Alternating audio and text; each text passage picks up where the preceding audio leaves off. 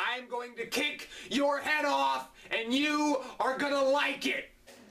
That's what I do. See, I'm like Tiger Woods. Not just because I like the skanks. It's because I am a clutch performer when the string is pulled to its tightest and there is no room for air. I get the money.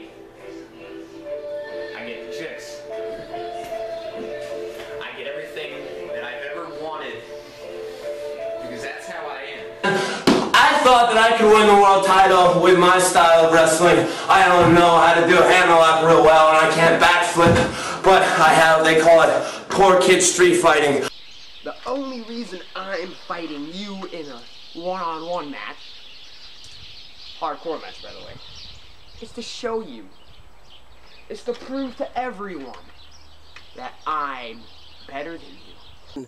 Don't stick your nose up at Kamikaze or we will break it. We are Iron Sabbath. Trust me, we know what we are doing. Hold on. We're gonna take a little bit. There we go.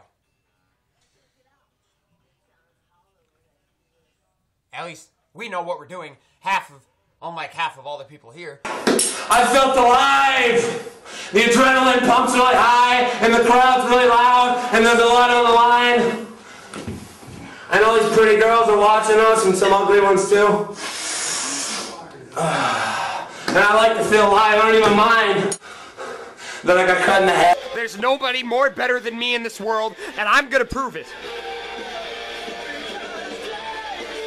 Sure, maybe I've been lying for half my life. I don't get all the belts. I don't get all the money. I don't get all the chicks.